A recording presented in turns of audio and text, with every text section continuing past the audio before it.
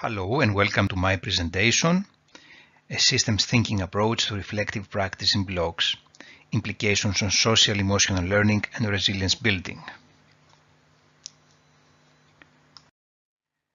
I'm Alexios Brailas from the Department of Psychology at Panteion University, Athens, Greece. In the present paper, we propose a model for reflective practice in blogs based on systems thinking aiming to promote social emotional learning and we discuss its theoretical underpinnings. Reflective blogging is widely used in higher education and or professional development settings. The here proposed model introduces systems thinking as a major way to facilitate group interactions and promote deep group reflection in a networked blogging environment. Reflective writing in blogs is an invaluable tool for promoting peer learning and personal and professional development, particularly in appreciative environments where people uh, feel safe to share authentic experiences and learn from each other. As uh, research suggests, reflective practice in groups of peers allows practitioners, especially those working with human systems like educators and healthcare professionals, to learn from their own experiences and to enhance their perspectives. How systems thinking transform reflective practice. This is the group as a whole meta-narrative idea in this presentation. So we have a central website that aggregates the reflections reflections from the individuals, from the participants' uh, personal blogs in a feed of reflections and uh, the educator, the facilitator of the intervention has the opportunity to produce a collective meta-narrative, a patchwork text based on the individual contributions that is posted weekly on the central website on the left of the screen as you see.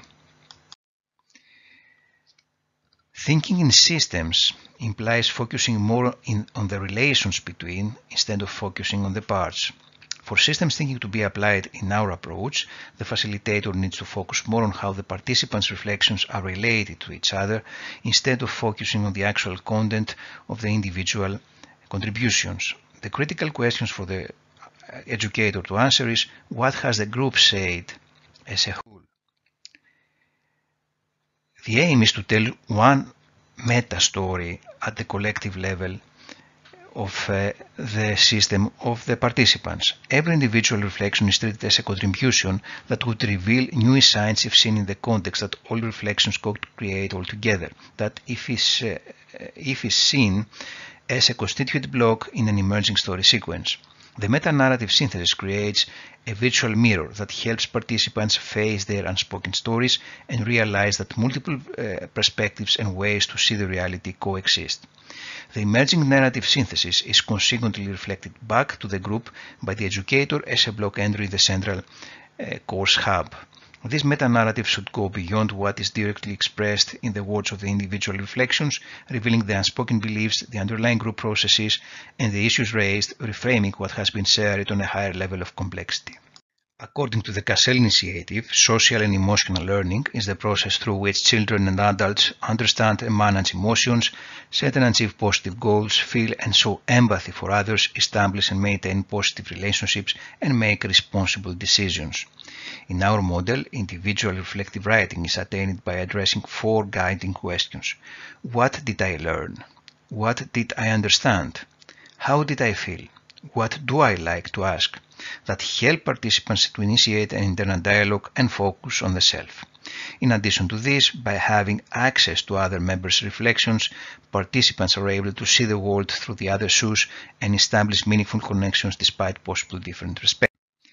Concluding, blogging and reflective writing in journals are two well-established practices broadly used for many years in educational and professional settings. However, systems thinking, by shifting the focus from the individuals to the relations between them, opens up a new space for complex dynamics to unfold.